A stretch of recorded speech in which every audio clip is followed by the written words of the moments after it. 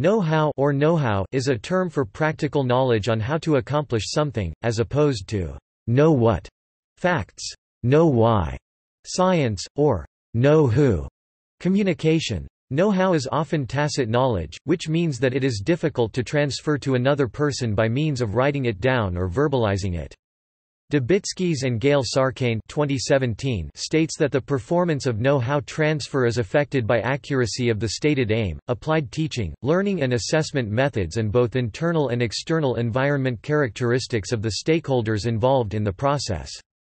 The opposite of tacit knowledge is explicit knowledge. In the context of industrial property now generally viewed as intellectual property or IP, know-how is a component in the transfer of technology in national and international environments, co-existing with or separate from other IP rights such as patents, trademarks and copyright and as an economic asset. When it is transferred by itself, know-how should be converted into a trade secret before transfer in a legal agreement.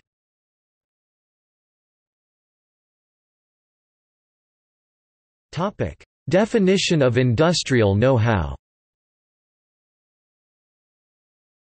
Know-how can be defined as confidentially held, or better, closely held, Information in the form of unpatented inventions, formulae, designs, drawings, procedures and methods, together with accumulated skills and experience in the hands of a licensor firm's professional personnel which could assist a transferee, licensee of the object product in its manufacture and use and bring to it a competitive advantage. It can be further supported with privately maintained expert knowledge on the operation, maintenance, use, application of the object product and of its sale, usage or disposition. The inherent proprietary value of know-how lies embedded in the legal protection afforded to trade secrets in general law, particularly case law. Know-how, in short, is private intellectual property, which can be said to be a form of precursor to other intellectual property rights.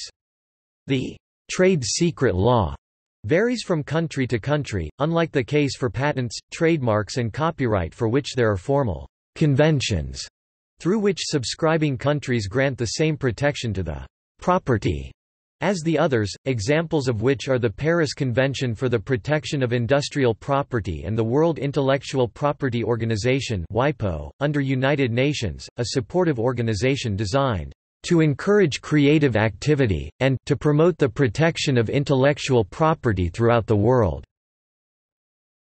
A trade secret may be defined as it is secret meaning it is not, as a whole or in the way its parts are arranged, known by or readily accessible to people in the field that would normally deal with that information. It is commercially valuable because it is secret. Reasonable effort has been made to keep it secret for purposes of illustration. The following may be a provision in a license agreement serving to define know-how Know-how shall mean technical data, formulae, standards, technical information, specifications, processes, methods, code books, raw materials, as well as all information, knowledge, assistance, trade practices and secrets, and improvements thereto, divulged, disclosed, or in any way communicated to the licensee under this agreement, unless such information was, at the time of disclosure, or thereafter becomes part of the general knowledge or literature which is generally available for public use from other lawful sources sources. The burden of proving that any information disclosed hereunder is not confidential information shall rest on the licensee.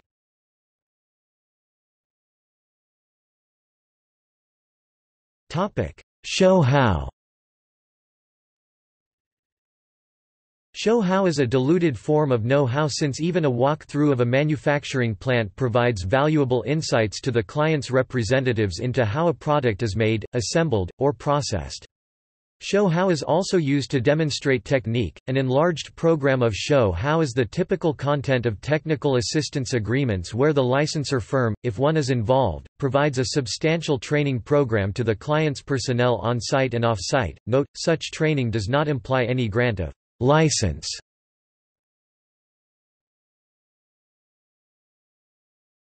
Topic: Disclosure agreements. There are two sets of agreements associated with the transfer of know-how agreement, a the disclosure and b the non-disclosure agreements, which are not separately parts of the principal know-how agreement. The initial need for disclosure is due to the requirement of a licensee firm to know what is the specific, unique, or general content of the know-how that a licensor firm possesses that promises value to the licensee on entering into a contract. Disclosure also aids the potential licensee in selecting among competitive offers, if any. Such disclosures are made by licensors only under non-disclosure or confidentiality agreements in which there are express undertakings that should the ultimate license not materialize, the firm to whom the disclosure is made will not reveal, and equally important, by any manner apply, any part of the disclosed knowledge which is not in the public domain or previously known to the firm receiving the information. Non-disclosure agreements are undertaken by those who receive confidential information from the licensee, relating to licensed know-how, so as to perform their tasks. Among them are the personnel of engineering firms who construct the plant for the licensee or those who are key employees of the licensee who have detailed access to disclosed data, etc. to administer their functions in operating the know-how based plant. These are also in the nature of confidentiality agreements and carry the definition of know-how, in full or truncated part, on a need-to-know basis.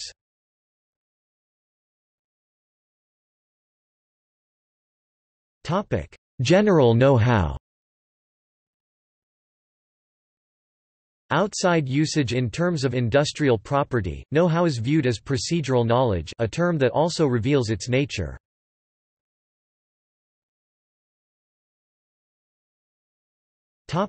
Employee knowledge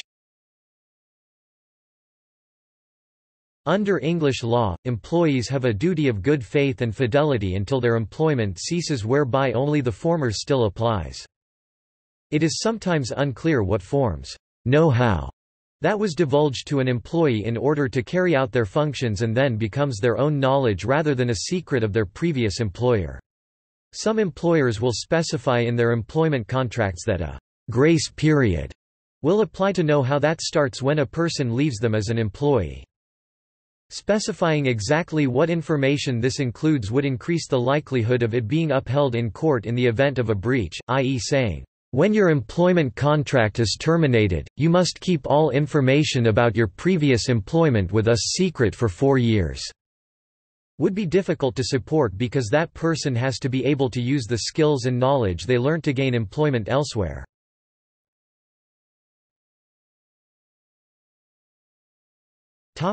See also. Procedural knowledge. Tribal knowledge